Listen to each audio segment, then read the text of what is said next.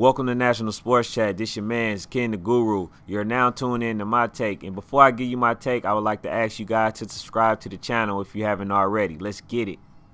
What's up? This your guy, Ken the Guru. And I want to ask a question. Does a ring mean more than the money? And the reason why I ask because you got people like Kevin Durant, you got people like AD, you got other people who took pay cuts like uh, LeBron James. They took pay cuts. But here's the thing. You can convince a multi-millionaire to take a pay cut, but you can't convince a billionaire to take a pay cut. I don't understand that logic. I don't understand how a billionaire can convince a millionaire to take less money when he don't take less money. I'm trying to figure that logic out because you just had a scenario to where Houston Rockets saying, "Man, I'm not about to I'm not about to be over the salary cap. I'm not about to go and stay in the luxury cap. So you got to get rid of Clint Capela. When money matters to them, how can they vent you to make money not matter to you?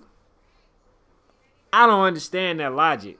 I'm trying to I'm trying to figure that out, you know, for the life of me. But at the end of the day, it seems to me the billionaire is more secure than a millionaire. I've seen millionaires go broke, broke.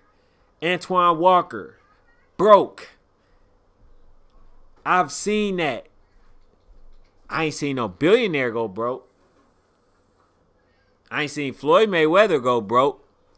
I seen a person with a couple hundred million go broke. Birdman. Like I said, Antoine Walker.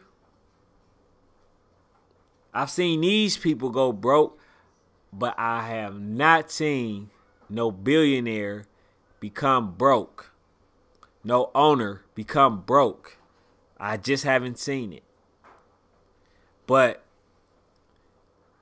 they'll tell you, oh man, you need to solidify your legacy. Man, take less money to go to the better team so you can win a championship. So you can make my pockets fatter. So I ain't got to pay you. Yes, do that. Look, man, I'm telling you, you will, you will solidify your legacy if you just take this pay cut. Take fifty dollars, fifty million dollars less. Just take this.